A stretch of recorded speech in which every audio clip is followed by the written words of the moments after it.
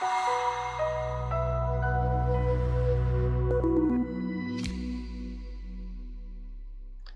and welcome to the Benbridge Hedge Invest Emerging Markets Absolute Return Fund April update, um, where we had a one of the worst months for EM in a while. Uh, EM was down five and a half percent last month, bringing the year-to-date return on EM down to over negative 10%.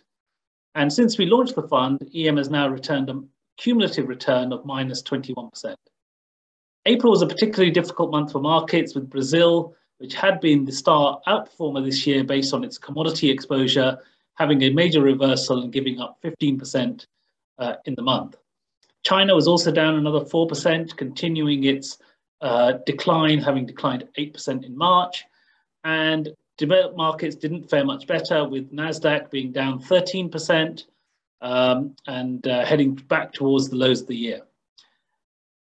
In the yield space, uh, bonds, 10-year treasury bonds uh, yields went up 60 basis points, leading them to be at the highest level for three years.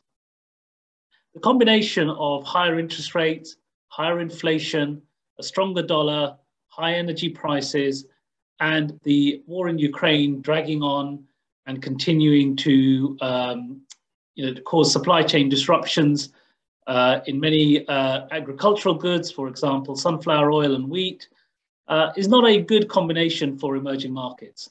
Emerging markets are generally importers of food and uh, energy um, and exporters of goods. And that combination of supply chain issues, higher inflation in agricultural commodities, and weakening demand with higher interest rates in the US uh, has led to a big pullback in emerging markets. As we speak in uh, this month, uh, emerging markets are down another 6% uh, month to date. So we continue to see this trend of uh, markets cheapening uh, as the macro environment worsens. On the positive side, we're now at valuations that are very close to the valuations that we saw in 2015 when emerging markets bottomed out for the last uh, cycle.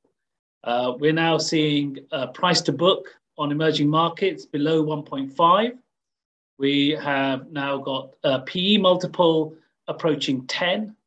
Uh, both of those historically have been good entry points for emerging markets. And we think that we are getting closer to a valuation floor uh, in, in these markets. For example, in March, when the HSCI index hit a level of 6,000, uh, this put the index on a 6.7% dividend yield. We added to some exposure at that point. Um, and uh, captured a, a good part of the uh, bounce, uh, the, the 20% bounce that the market had into the end of March. Uh, that that market has started to give it up, give up those gains again. But uh, again, we're looking at where are the buying opportunities in this sell-off? Uh, where are the valuation floors? Where do we feel comfortable in taking a um, taking more exposure? uh, where we are seeing the, those valuation floors that we believe will hold over the longer term. Uh, so right now, that's our focus. We're looking at uh, businesses that are going to struggle with inflation on the short side. We're looking at businesses where the valuations have cheapened up so much um, that we have comfort, comfort on their downside risks uh, for our long side exposure. If you want to know any more about what we're doing or ideas and trades, please feel free to contact your Hedge Invest uh, salesperson. And uh, we look forward to giving you an update next month.